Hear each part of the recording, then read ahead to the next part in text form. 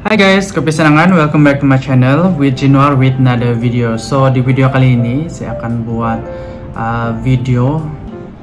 Ini bekas telepon sejak kotak dia yang saya ambil sebab saya simpan duit kertas kan. Nih.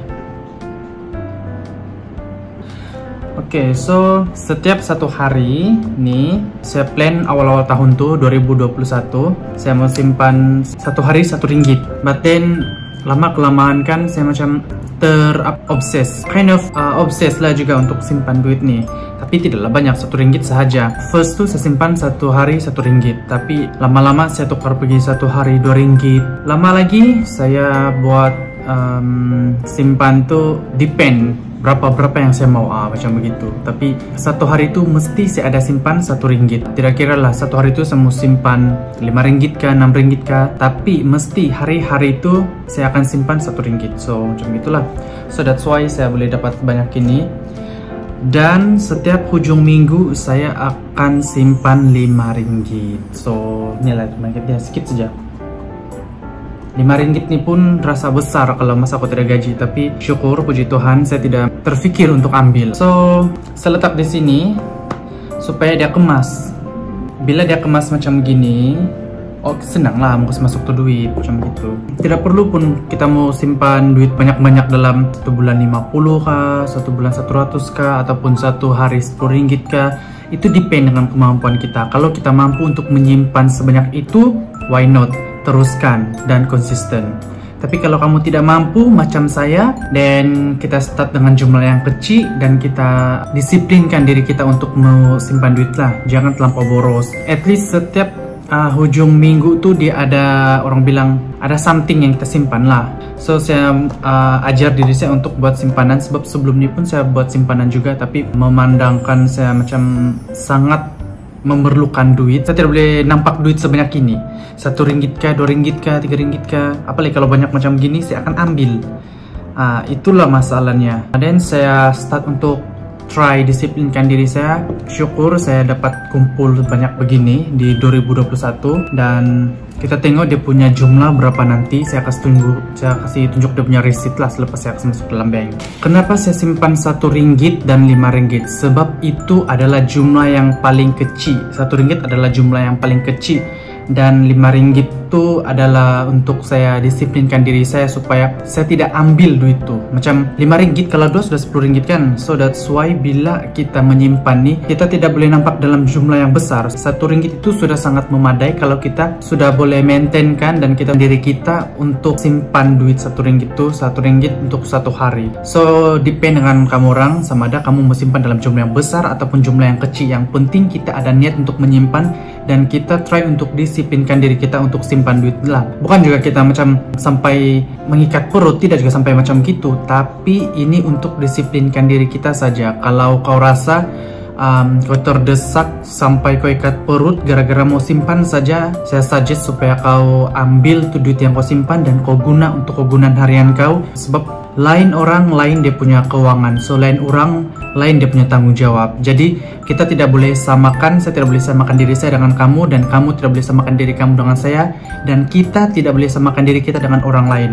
So kalau dia punya keuangan macam gitu ah, itu terpulang dengan dia. Kalau keuangan kita macam gini apa plan kita untuk next dia? At the end of the day kamu dapat benefit dari apa yang kamu buat dan apa yang kamu sudah rancang tuh Bila time susah kita perlukan kita ada backup. Setiap bulan kita mesti ada masuk ataupun simpan untuk emergency saving. Sebab emergency saving ini adalah sangat penting. Bila kita memerlukan benda tuh kita boleh gunakan uh, kita punya saving tuh. Apa yang kita tuh itu yang saya apa apply setiap hari dari saya start kerja nih. Sekarang pun selepas pandemik nih kita macam memerlukan kan.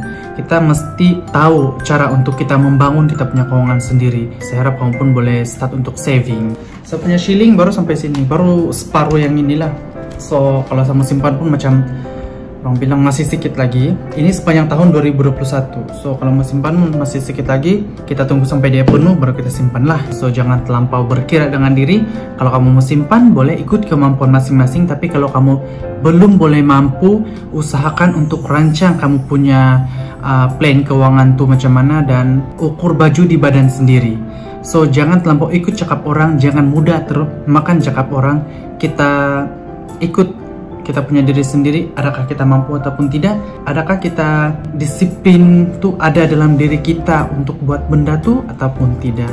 So semua bermula daripada diri sendiri. Saya pun bukannya pakar sangat membagi nasihat ataupun bukan ada pengalaman yang macam finance kah ataupun semua macam yang penasihat keuangan apa tidak juga macam gitulah tapi ini berdasarkan pengalaman saya dan ya yeah. so guys kita jumpa nanti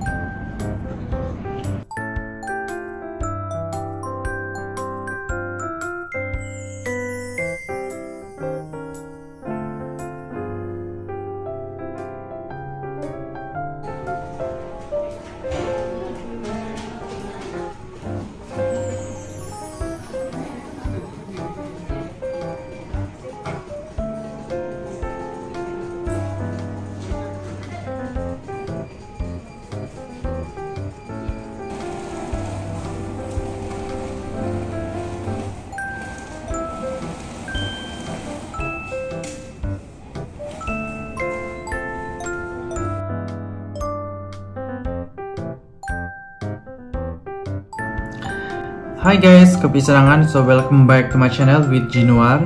So video ini saya buat adalah sambungan daripada video yang sebelum ini Sebab sebelum ini tahu dengan kemurang yang saya mau simpan duit kan Dan banyak yang tanya berapa yang saya dapat simpan Jumlah dia berapa Dan jumlah dia itu saya akan tunjuk di sini lah Sebab uh, keesokan harinya yang tadi pagi saya pergi simpan di ASB bah Sebab ASB kurang orang masa tu? So that's why saya pergi di ASB untuk simpan duit.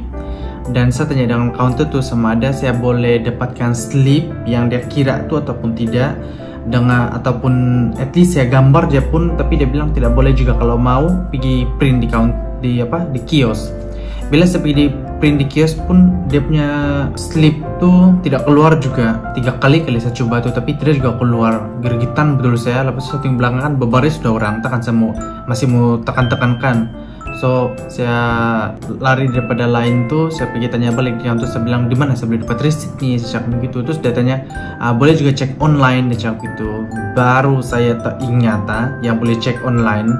Betul excited kan. Sebab uh, dapat simpan banyak itulah saya punya tips menabung dalam jumlah yang sedikit dan ikut keperluan apa? Ikut kemampuan keperluan pula.